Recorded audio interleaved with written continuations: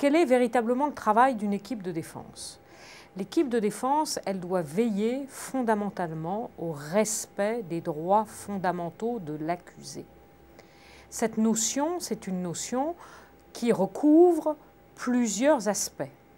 Ces droits fondamentaux, c'est par exemple le droit au silence. L'accusé n'est pas obligé de parler. C'est aussi le droit à avoir une divulgation complète du dossier c'est le droit de connaître l'intégralité des charges qui pèsent contre la personne. C'est ce respect des droits fondamentaux qui est une partie essentielle du travail de la défense. L'autre aspect, du travail de la défense, c'est de ce qu'on appelle en français challenger la preuve du procureur. Le procureur vient, nous donne un certain nombre d'éléments et sur ces éléments, nous essayons, nous, d'enquêter pour voir la part de vérité, la part de contre-vérité qui peut être amenée par le procureur dans sa preuve. C'est ce qu'on appelle challenger la preuve du procureur. L'autre aspect du travail de la défense est de rapporter les éléments qui viennent au soutien de la thèse de notre client. C'est ce qu'on appelle, et c'est la deuxième partie du procès, apporter des témoins qui viennent témoigner dans la part de vérité que le client lui-même, que l'accusé lui-même veut faire valoir devant les euh, tribunaux. Voilà l'essentiel du travail de la défense. C'est un travail important. Dans le dossier de Thomas Lubanga, nous avons 30 000 pages qui nous ont été communiquées par le procureur.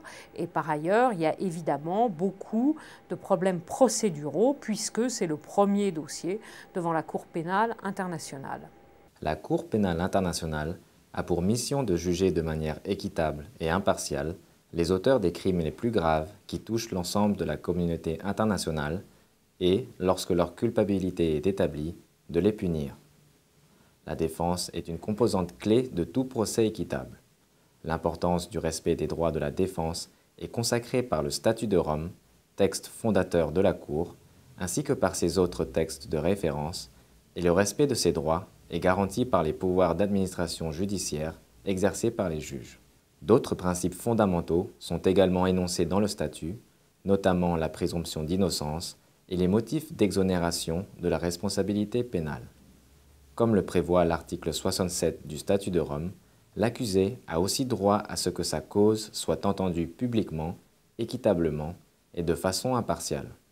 Les suspects et les accusés ont droit à une représentation légale lors de la procédure devant la Cour. Je voudrais donc ainsi, Madame la Présidente, Monsieur le juge, vous faire remarquer que M. Jean-Pierre Bemba n'a reçu, durant la période litigieuse, aucune information, aucune plainte, pas la moindre protestation des organisations non gouvernementales présentes sur le terrain, ni même de la part de Nations Unies représentées sur place. Lorsqu'un suspect ou un accusé qui a besoin d'une représentation légale souhaite engager son propre avocat, le greffe de la Cour facilite ce processus et fournit une liste de conseils qualifiés. Les avocats expérimentés, désireux de représenter les suspects ou des accusés, doivent figurer sur la liste des conseils qui comporte actuellement plus de 300 noms d'avocats du monde entier. Le conseil choisi est responsable de la mise sur pied de son équipe, y compris de la sélection du conseil adjoint, des assistants juridiques, des assistants chargés de la gestion des dossiers d'une affaire des personnes ressources et des enquêteurs professionnels.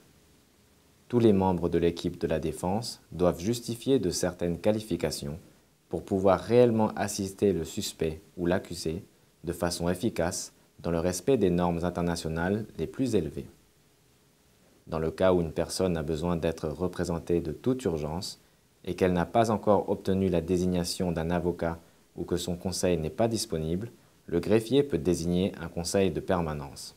Le greffe, en général, et pas seulement dans le procès, est responsable et doit assurer euh, les services non judiciaires et tous les aspects administratifs euh, de la Cour. le greffe, en tant qu'organe neutre, doit assurer que le procès soit équitable, c'est-à-dire que le droit de la défense soit effectivement euh, soutenu, supporté et garanti, et ce qui signifie que le soutien au Conseil de la défense euh, doit euh, aussi assurer l'égalité des armes par rapport aux moyens qui sont disponibles à la poursuite. L'une des composantes clés de la garantie des droits des suspects et des accusés est le système d'aide judiciaire qui fait en sorte que les frais de représentation légale soient payés par la Cour lorsque ces suspects ou accusés ne disposent pas de moyens suffisants. La décision du greffier de reconnaître un suspect ou un accusé comme partiellement ou totalement indigent et d'accorder ou non l'aide judiciaire est fondée sur des critères objectifs ainsi que sur une enquête financière exhaustive des ressources de la personne qui a demandé cette aide.